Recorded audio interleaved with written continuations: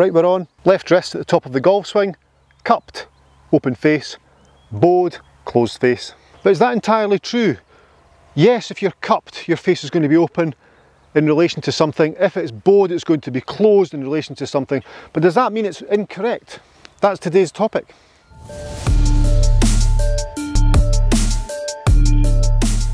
So last week I was coaching and the gentleman I was coaching, he explained to me that when he filmed his swing, at the top of his swing, his left wrist was in a cupped position, so angle between left hand and wrist at the top. So he, he was a cupped position, therefore face was open.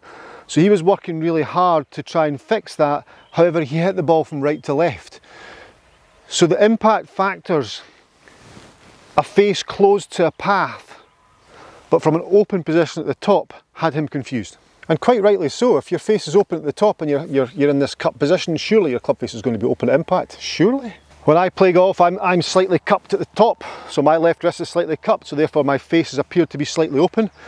However, at impact, because of my Eureka golf swing, there's cupped at impact. As I come down, because the body moves, I get to there. Then all of a sudden, here, I'm in a flatter left wrist position. If I just lift that straight up, you'll see it's now much squarer and less cup because I've got the body to work. So what that suggests is that when you film yourself on camera, you may see one thing, but it might not be important with impact or relate to how impact works. So I'm slightly cupped at the top, but then I bring it out on the way down by using my body. I get the ball to move slightly right to left like that one, that's on it. It was alright. so I asked the player in question to do the following drill. I asked him to simply take his grip on the golf club now his grip was strong, his left hand was turned right round to the right hand side, very strong. He could see almost four knuckles on his left hand. Then he took his grip, so he was there. Then I simply asked him, can you cock the golf club upwards in front of your body? So he cocked it up, and now his left wrist is cupped. So from that position I said, lift your arm up, and we can see there how that wrist is cupped.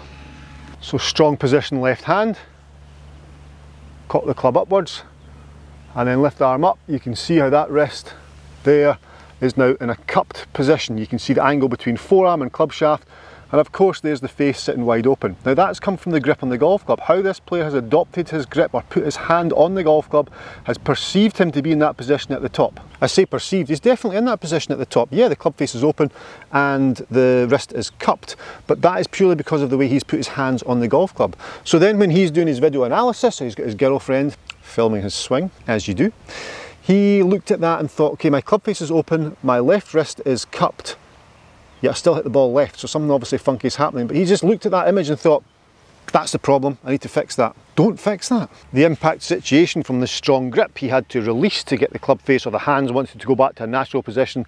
So that's what was closing the face. But the visual picture of him at the top is what he immediately worked on and that I totally understand. I understand that, you know, there's people look at their, their swing on camera and they lift the left foot off the ground so that must be a problem. But they're 65 to 70 years old, need to get as much rotation as they can, they're carrying a little bit of weight, so that is actually a good thing vanity kicks in and we look at it on the camera and think, oh, that left foot has to stay down or that needs to be much flatter. Well, not necessarily for the individual. Homer Kelley said there's 14 quadrillion, quadrillion different motions within the golf swing and they're all correct. Now, they're all correct for the individual. They're not necessarily correct for you and I.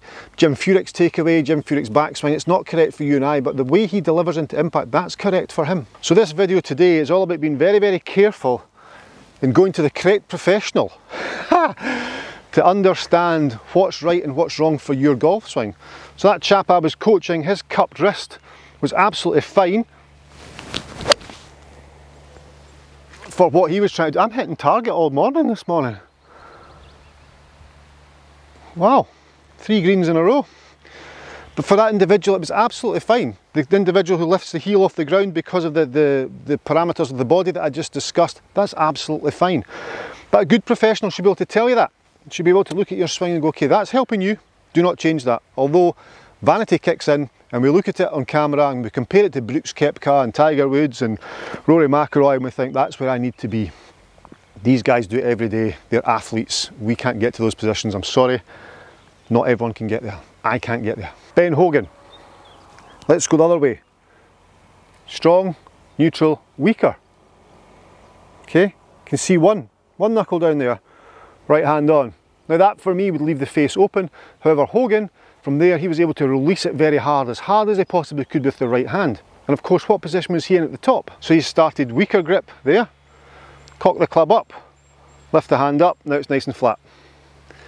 Nice flat left wrist there, straight line up the left wrist, down the back of the arm, bingo. There's a picture that we've looked at and perceived that that must be correct. And I'm not arguing with Hogan, absolutely not. That man is correct. Let's just leave that there. So at the top of his swing, he's here and there's a straight line down there. And then of course from there, because he's hitting hard with the right hand, he is starting to get the left wrist to do its thing. And he can release that really, really hard. So he can release that really, really hard. Now, from the strong grip that the gentleman had that came for a lesson with me, he's read that Hogan can release, release it really, really hard.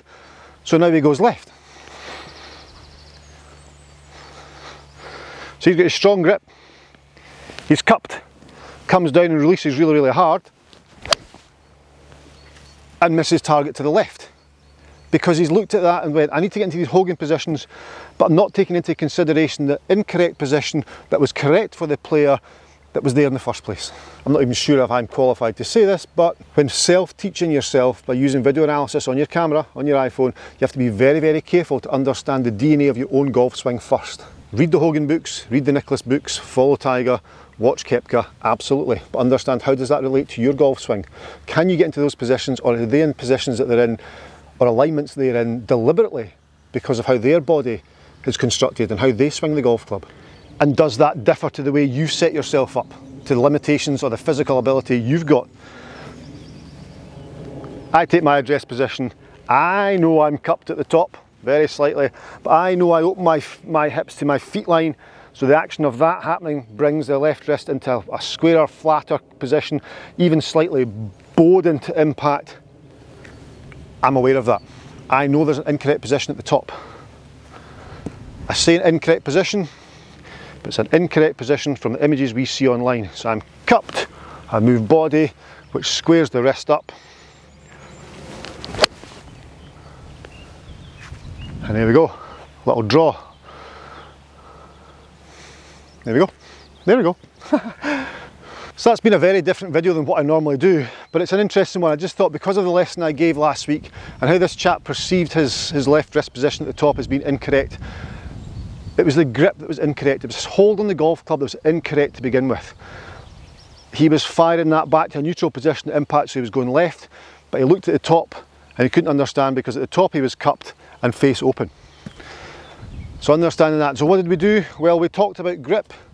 We didn't actually change grip. We left his grip alone and worked on swing technique instead. That was a conscious choice he made. He didn't want to change grip because of how uncomfortable it is, and I get that. So we worked on another part of the swing instead to neutralise that, which was more in keeping with the DNA of his golf swing. But as I say, a very different video today, but hope it gives you an understanding of looking for, looking for positions, watch the US Open, watch the, the, all the golf on the television, and you'll see the positions these guys get into. All the commentators talk about it, and it's purely relevant to that player. Of course, there's fundamentals to adhere to, but each player's built slightly differently, and we have to accept that. We're not always going to get into those positions, and we work around what we already have.